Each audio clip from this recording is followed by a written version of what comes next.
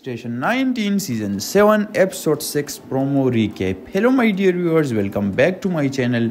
Today in this video we will be trying to recap the official promo of the Station 19 Season 7 Episode 6. You have already watched this promo but today in this video we will share the promo with you guys with a long detailed review of ourselves.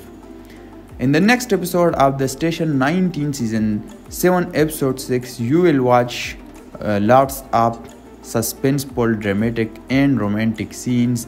Maya will be kidnapped in the next episode because after watching the promo, I can predict that Maya is going to be kidnapped and Vic is getting fired. These are the biggest prediction for now about this episode.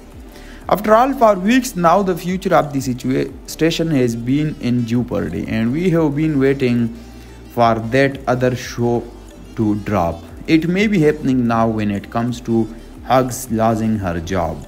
The, pro- the producer are clearly threatening that this could happen, but will it? For now, we are choosing to be optimistic largely due to one simple thing. If Vic was really about to lose her job, why promote it?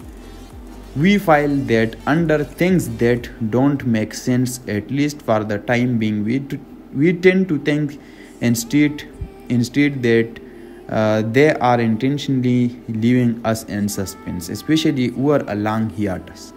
Over the remaining five episodes absolutely we expect that there are going to be some hard challenges for a lot of characters around every turn they want that drama to be there but we still think that we are building toward something satisfying in the finale. In a way, we think that it will match tonally uh, a little bit of what we saw at the end of the episode tonight, which gave us a great opportunity to commemorate Andy's era time on the show, leading to uh, leading up to her becoming captain.